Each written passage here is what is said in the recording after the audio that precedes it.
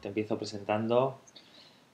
Eh, hola, hoy tenemos con nosotros a José Luis Cabezas. José Luis es junto a Godfrey de Veró, uno de los eh, dos únicos eh, formadores senior de, yoga dinámico, un método en el que lleva más de 15 años trabajando y en el que ha formado a profesores tanto en España como en otras partes de Europa eh, y en América del Norte y del, Sur.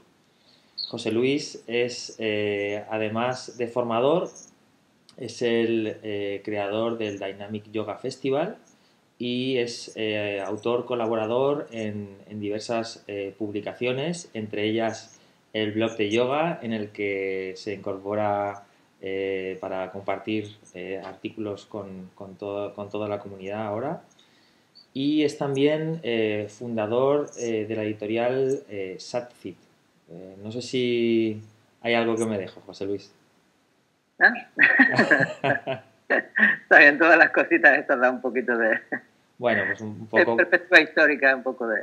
Claro, un poco de perspectiva y porque es, es eh, una persona eh, activa con diferentes inquietudes pues por, por dar a conocer el, el, yoga. Sí, muchas gracias José María Chema y a los de yoga y saludos a todos y aquí estamos. Pues muchas, muchas gracias por, por aceptar la, la, entrevista, José Luis.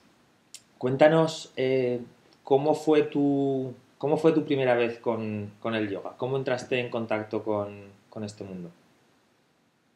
Um, Curiosamente por una crisis existencial bastante joven. Ya con 17 añitos así, entré en una, una depresión, vamos, que, que no incluso aunque en principio me iba bien con los estudios y tenía, eh, pues eso, buenas perspectivas y tal, pero no había nada que me, que me estimulara de lo que realmente se ofrecía. Eh, se suponía que teníamos que estudiar una carrera o que, ¿sabes? Estaba, no sé, entre una cosa y otra, salí del colegio, empecé en el instituto eh, y, ya sabes, la calle, para acá, para allá, se exigía muchas cosas, pero estaba todo como muy amorfo. Eh, en nuestra generación X.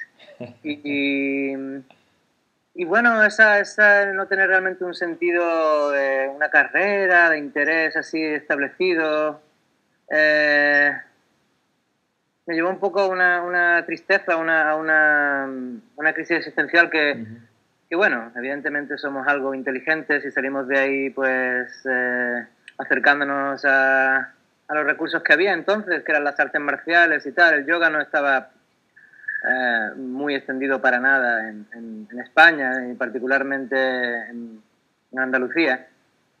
Y, bueno, tuve la suerte de que mi maestro de artes marciales, a los que llevábamos más tiempo, eh, los que llamaba los mayores, ya cinturones negros y tal y cual, nos empezó a, mostrar lo que él llamaba eh, artes marciales internas.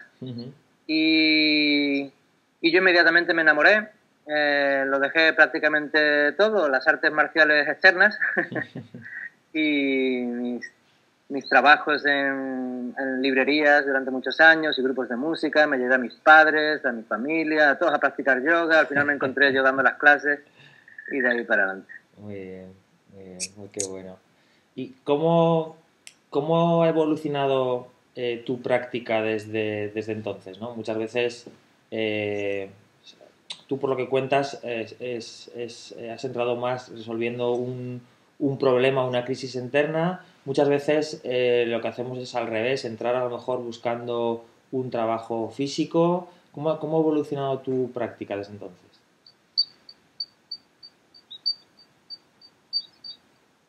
Eh, a ver, mi práctica ha ido por muchas etapas como te digo al principio, comenzó como eso, desde las artes marciales externas a algo más interno y tal. Así que en el principio sí había un contraste como más, que era como eso, más eh, íntimo, meditativo y tal.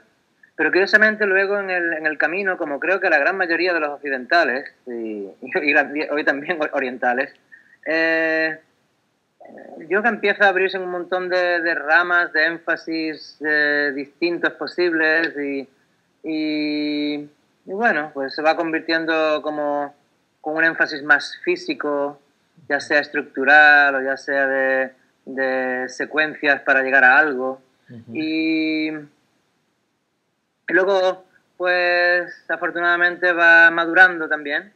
Y, bueno, toda esa superficialidad, las ambiciones de llegar a algún lugar o, se van sofisticando y, se vuelve a, al origen, que es pues eso, eh, volverse más íntimo con la vida. Así que, bueno, eh, en el punto en el que estoy es que si quiero actividad física, eh, si me apetece un poquito de,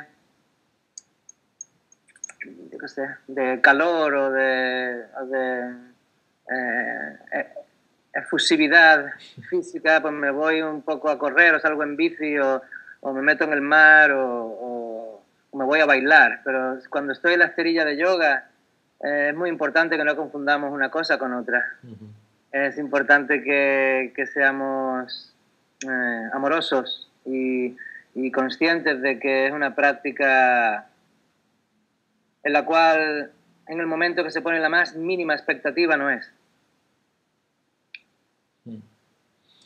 Sí, quizá eh, últimamente o últimamente en los últimos años que el yoga está de moda, ¿no? Creo que en eso estamos de acuerdo eh, todo el mundo, eh, está, está llegando eh, a, mucha gente, pero precisamente con, en base a expectativas, en base a, usar el yoga para adelgazar, usar el yoga para hacer lo mismo que hacen los famosos, o, bueno, pues para como, como píldora mágica para resolver eh, 100, 100 y un, ciento y un problemas. de todas formas, eh, entiendo que, el yoga cada vez se ha practicado eh, por, más, por más gente es, algo positivo, aunque muchas veces se pueda, se pueda malinterpretar. ¿no? ¿Qué, es, ¿Qué es para ti lo bueno y qué es lo malo de que, de que esté tan de moda el yoga? Mm, em, es muy buena pregunta y, afortunadamente nos la estamos planteando más y más. De hecho, últimamente me hicieron una, otra entrevista en Valencia, en, la universidad, y, está por ahí grabada. que, mm, pero, a ver, básicamente es eh, pros y contras de la divulgación. Eh, la divulgación vuelve las cosas más vulgares y al mismo tiempo las vuelve más conocidas Con lo cual tiene el aspecto bueno de que puede llegar a más gente y a muchas personas eh, darle, darle inicialmente algún tipo de, de, bien, ofrecerle un beneficio. Bueno, eh, pudiera ser físico, pudiera ser anímico, eh, lo que sea. Pero al mismo tiempo lo que ocurre es que en esos atajos superficiales pues se va volviendo la cosa cada vez más vulgar, más grosa y hasta el punto de que, bueno, no sé, el New York Times eh, eh, saque artículos súper fundamentados pero muy alarmistas eh, de que el yoga puede dañarte. hay mm, millones de, practicantes en Estados Unidos, en Inglaterra, en Europa, tal y curiosamente se convirtió en la razón número uno en el mundo del fitness de visitas directas al quirófano por lesiones. O sea que ese es un efecto, por ejemplo, de la vulgarización. Claro. Las que hay, hay tropecientos mil profesores y profesoras de yoga, eh, lo cual yo no lo veo del todo mal. Eh, quiero decir, cuando a alguien le interesa algo, eh, está bien que, se adentre en una investigación de las dinámicas didácticas para discernir más claramente el qué y el cómo, incluso cuando escucha instrucciones de alguien, tener un, sentido común interno que lo guíe y no se crea lo que le digan de fuera. veo muy bien que haya formaciones de profesores y que haya tantos profesores ahora. La gran mayoría, no sé, eh, se adscribe a una, a una tradición eh, o lo que sea, rumores, y, y, bueno, hacen cosas por hacer, porque dice un libro, porque... Y, al final, pues, cuando hay 50 personas eh, practicando ese yo que sé en un gimnasio de prisas, con otras actividades y tal y cual, y se está gente forzajeando con el cuerpo y con la mente porque no realmente no ha habido la preparación progresiva, eh, de modo que lo, que hagan siguiente esté totalmente fundamentado por lo que han hecho antes. Eh, cuando no hay ese entendimiento, la gente tiende a lesionarse físicamente, es lo básico, lo primario pero es que resulta que el problema viene cuando con las lesiones más sutiles. Muchas personas que si tienen suerte se lesionarán físicamente primero y podrán parar. Pero hay otras personas que siguen porque no se lesionan físicamente y resulta que luego psicológicamente o emocionalmente o incluso podemos decir hasta espiritualmente en algún momento dado, si tienen suerte o, se dan cuenta de que han estado toda su vida guerreando, o que han estado luchando, tratando de imponer o controlar, o, y, de pronto a lo mejor han estado 40 años así. Pero bueno, antes o después, eh, como somos seres inteligentes, sensibles y eh, ese sentido común, esa lucidez se da, aunque sea como rebote. Y, eh, ¿crees que, podría, o qué, crees que podría hacerse desde, pues por ejemplo, medios eh, online como, el nuestro, como el blog de yoga, o, desde los profesores? ¿Qué crees que podría hacerse para intentar revertir estos aspectos eh, negativos que tiene la moda del, yoga? Si crees que se puede hacer algo. Em, muchas veces, por ejemplo, nos dicen que, me ha comentado algún, algún profesor eh, que es eh, amigo o amiga, que los artículos que, que, lee por ahí en internet sobre el yoga son muy eh, mainstream, ¿no? Son muy para hacer llegar el, yoga a, mucha gente, pero que están muchas veces están huecos, no, no tienen contenido más allá de pues lo que decíamos, ¿no? estas asanas para conseguir este, este resultado y de alguna forma dar a conocer el, yoga. Eh, no sé si, si, a lo mejor eh, variando ese tipo de, contenidos que se, se, difunden en internet o a lo mejor eh, no lo sé. Es curioso porque yo desde mi posición me siento un poco con la, con la responsabilidad de decir algo. Pero al mismo tiempo no me siento con, la, con el derecho de decir nada. Eh, a ver, lo que está sucediendo es perfectamente válido y está sucediendo exactamente como ha de suceder. Eh, aunque no lo parezca a veces. Entonces, todo, todo lo que está sucediendo es perfectamente parte, perfectamente válido, tiene su rol, tiene su lugar y, está ahí. Ahora, tú y yo, y que nos escuche, que, se sienta que, que, tiene, bueno, que puede aportar algo, que, tiene, que se siente con cierta responsabilidad participativa. Eh, yo me, me, animaría a, decir que em,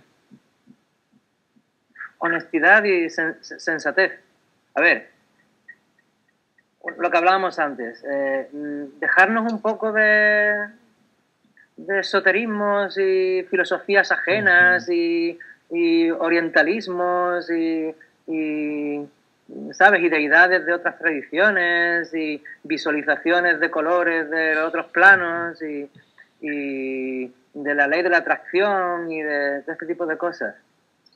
Eh, mm, dejar, dejar a un lado todos esos mundos, aunque atractivos pero ilusorios, y, fundamentar lo que decimos, lo que, lo que comunicamos, lo que invitamos a nuestros alumnos a hacer o a nuestros lectores a, considerar, eh, o nuestros oyentes a reflexionar.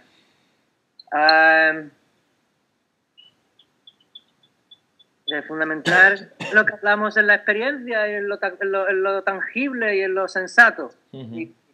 y, no decir que mm, una postura es buena para el riñón si tú realmente no lo has experimentado. Y no creerte lo que diga el libro de no sé qué nanda.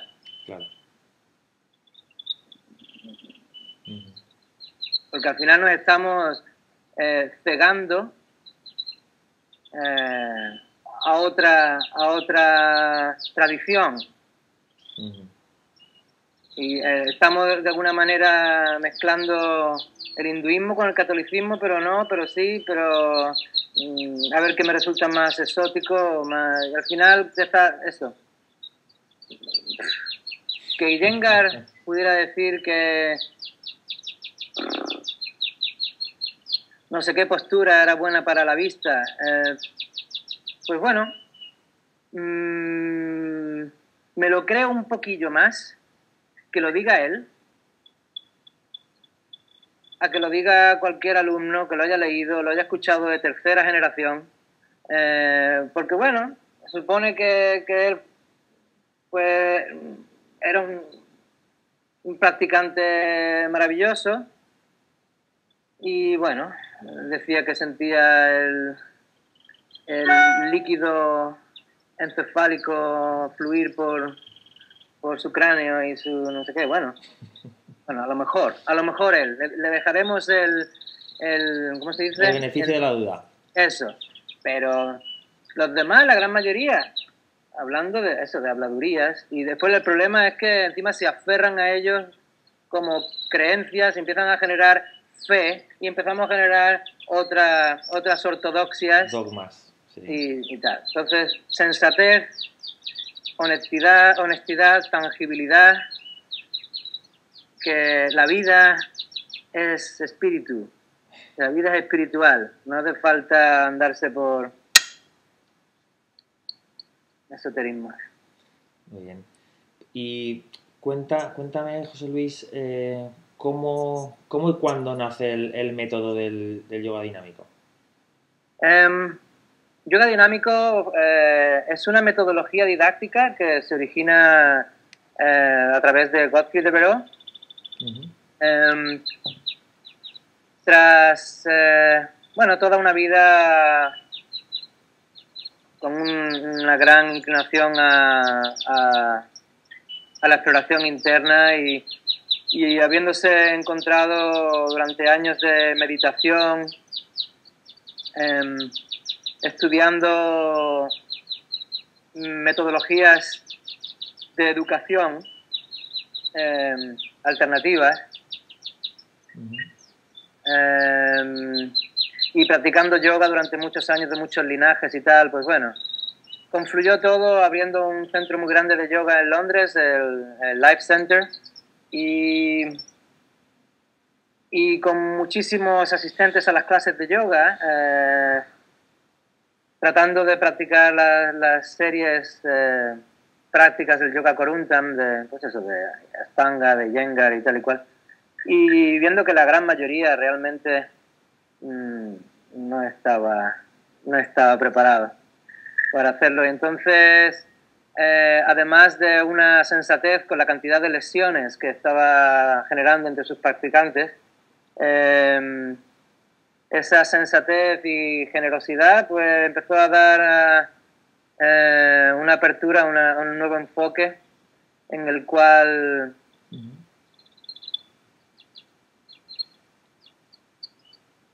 la, la guía eh, el maestro, la maestra está en el interior y, y se expresa y revela a través de sensaciones.